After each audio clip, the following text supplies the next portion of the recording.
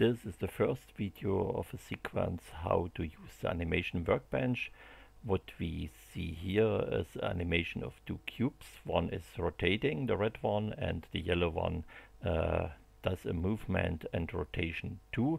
And both is controlled by the manager. The manager coordinates multiple uh, animation pieces and a single animation is done uh, by a simple placer object.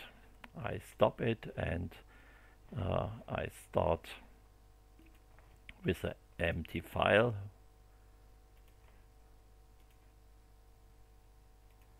Okay let's start here and we we hide the yellow cube and we use the first uh, red cube. Uh, we create a placer. The placer needs a target.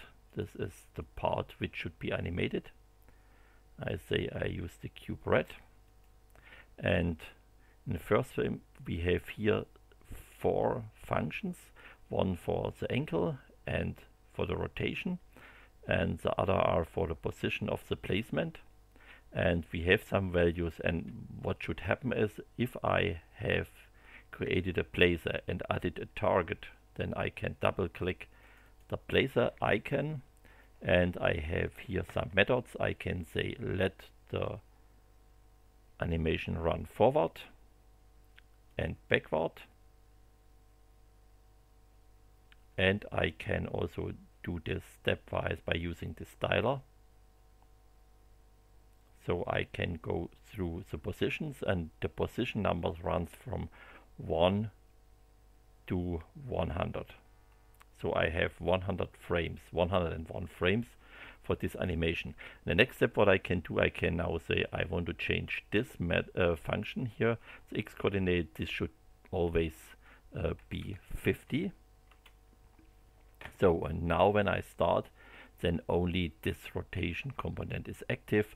That means in 100 step uh, the cube rotates one time, one round and I can say I, uh, I use it with a 4 speed and now we see the rotation becomes faster. Okay, let's go back to the simple case and say here 0.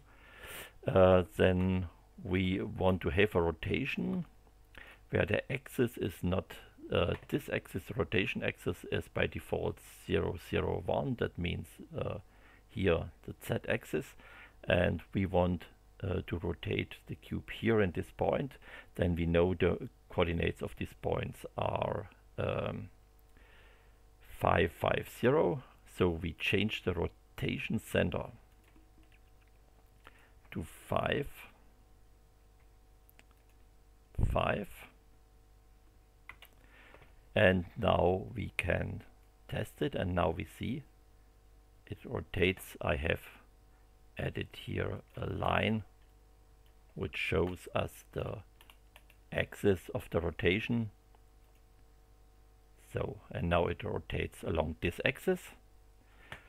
And now uh, we can give at next um, to the placer a movement. We say x should be uh, 100 times time.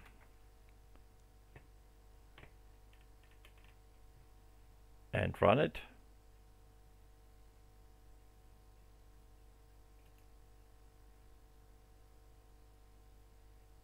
We can do the same and can say we want uh, here uh, 100 0.5 minus time square. And then now we have something like jump animation. And if we want it go backward then we can say 200 minus this value. Okay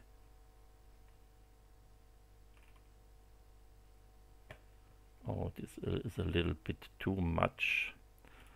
Uh, 200, say 25. Okay. Then we have this jump. So this is the placer.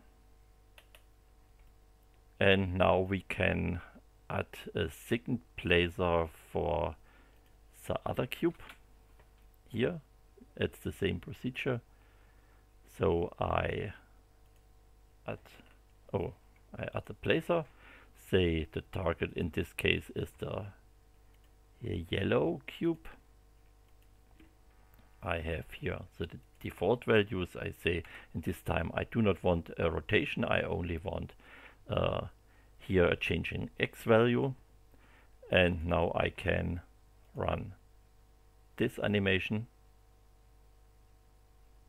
and I can run this animation. If I want to have uh, both animations at the same time, I need a manager. So I close this too. I add a manager and I move these two objects into the manager.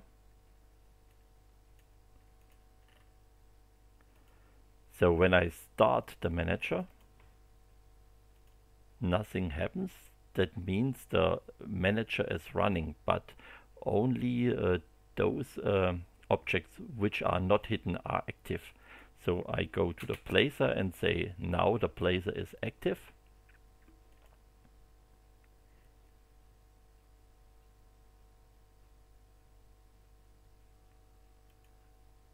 And I activate the second placer too and now I have both animations.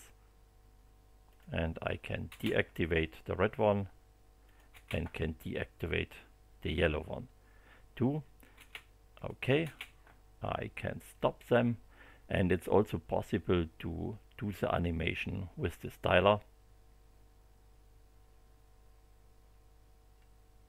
so that's all for the first